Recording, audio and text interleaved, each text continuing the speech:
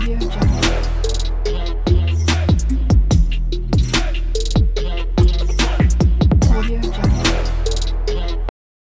friends, welcome to another new video. Today, we will be learning how to create a text to binary and binary to text converter using JavaScript.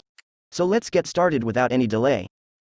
I have already written the HTML and CSS code for this project. In HTML, I have created one container containing form group that has an input tag and a button. There is also a text area inside the form group where we will see the results. Moving on to the CSS file, I have added some basic styling that you can modify as per your preference. Now, let's switch to the JavaScript file and begin coding.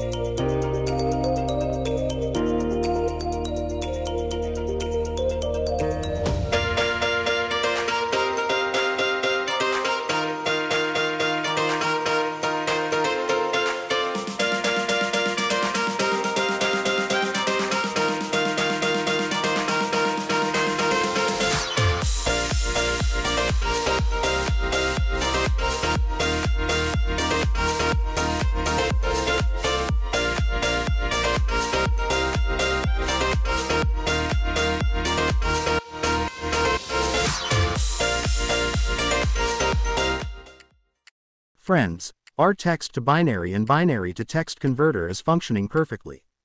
If you enjoyed this video, please give it a thumbs up. If you are new to the channel, don't forget to subscribe. Also, if you have any topic suggestions for future videos, please feel free to leave a comment. I will create a video on that topic soon.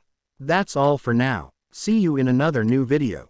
Until then, goodbye.